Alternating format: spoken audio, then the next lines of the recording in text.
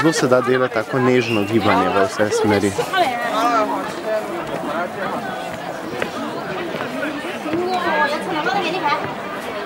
Chọn.